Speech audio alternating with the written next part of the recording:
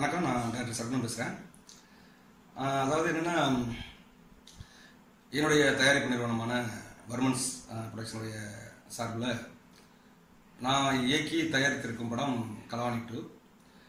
அந்த படம் வந்து தணிக்கை குழுவினரால் யூ சர்டிஃபிகேட்டு வழங்கப்பட்டு விரைவில் வந்து திரைக்கு வர்றதுக்காண்டி ரெடியாக இருக்குது இந்த சூழலில் ஊடகத்தில் வந்து ஒரு செய்தி பார்த்தேன்.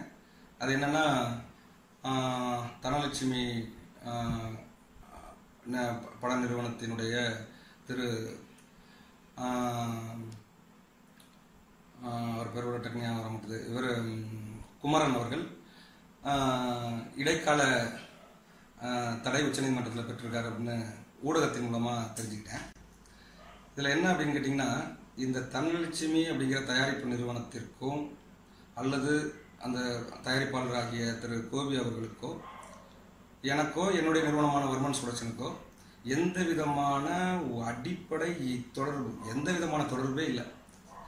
நான் சந்தித்தது கூட கிடையாது.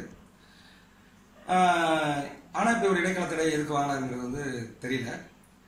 அப்புறம் இடையில வந்து அவர் சார்பாக அவர் கூட இருக்கிற திரு சிங்காரவேலன் அவர்கள்ட்ட நான் தொடர்பு கொண்டு எனக்கு இந்த மாதிரி இருக்காது? யார் போட்டிருக்கா? என்னென்ன தெரியல. எனக்கு யார் நிறுவனம் பெரும் தெரியல கம்பெனி பெரும் தெரியல பார்த்தது கூட இல்லை. என்ன மேட்ரு அப்படின்னு அவர்கிட்ட கேட்டேன்.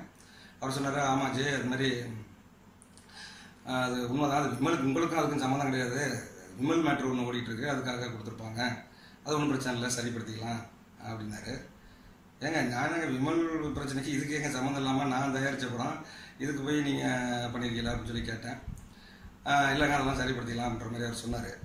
நான் என்ன சொல்ல வரேன்னா நான்லாம் ஒரு கிராமத்துலேருந்து அங்கேருந்து வந்து ஒரு அசன்டர் ஆகி ஒரு மண்ணுடைய மக்களுடைய வாழ்க்கையை எடுத்து தேசிய விருது வாங்கி ரொம்ப கஷ்டப்பட்டு ஒரு தயாரிப்பாளராக ஆகி பல பிரச்சனைகளுக்கு இடையில இந்த படத்தை நான் ரிலீஸுக்கு வச்சிருக்கிற நிலையில இந்த மாதிரியான ஒரு சூழல் வந்தது வந்து ரொம்ப சங்கடத்தை ஏற்படுத்தியிருக்கு.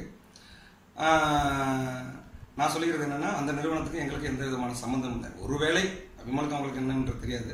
ஒருவேளை அப்படி இருந்தாக்கா அதுக்கு என்னுடைய நிறுவனமான வர்மன்ஸ் ப்ரொடக்ஷன்ஸோ இல்லை நானும் எந்த விதத்துலையும் பொறுப்பேற்க முடியாது.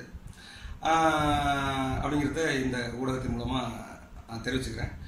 ஆனால் என்னென்னா இந்த நான் ஒரு நீதிமன்றத்தின் மேலே அளவு கடந்த பெரிய நம்பிக்கை வச்சுருக்கேன். ஏன்னா நாங்களாம் சாதாரண இல்லை சாதாரணப்பட்ட ஆளெல்லாம் நிறைய உழைக்கிறோம். ரொம்ப சாதாரண ஆளாக இருக்கும்.